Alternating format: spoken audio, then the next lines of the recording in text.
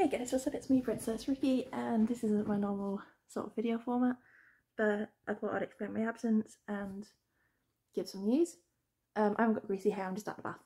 Um, basically, the reason why I went dead on YouTube is because unfortunately Alvin, my dog, who's in some of my videos past, um, aka the Real Joker, he passed away on the 8th of August. Um, he had an enlarged heart he literally only been diagnosed with it for about two weeks and unfortunately passed um, in his sleep.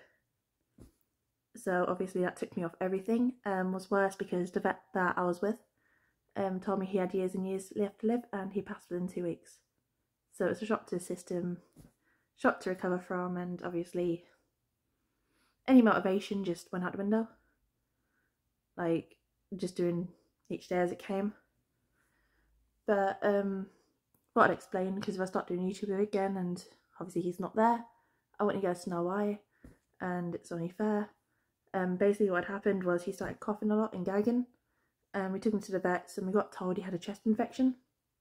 So he had a week's course of antibiotics and then took him back and we got told, oh it's still, it's still a chest infection, uh, do another week of antibiotics. So he had another week worth of antibiotics, um, had another um, vet visit and the vet goes to me, oh, I think he might have lung cancer.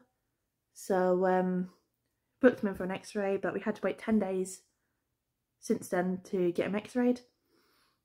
So he had the x-ray and they found he had a large heart, asked the vet how long he's got left to live and got told years and years. And then two weeks after that, unfortunately, he passed. So there wasn't really much that we or anyone could do at that point. He was on heart medication that was meant to help with the symptoms, but it wouldn't get rid of it. And unfortunately, um, he didn't have very long left. Um, another reason for this video though is it's not replacing Alvin at all. Like Alvin's still my little boy, still love him to bits. But yesterday, me and Adam picked up another dog, and we've got a 15 week old husky called Willow, and she'll be in some of my videos coming up. And I just want to have a nice little passage moment to remember Alvin and to introduce Willow obviously Willow's, like I said earlier, no no way replacement to Alvin. I'm not just filming this video because obviously I just got Willow, forget about Alvin, it's not like that.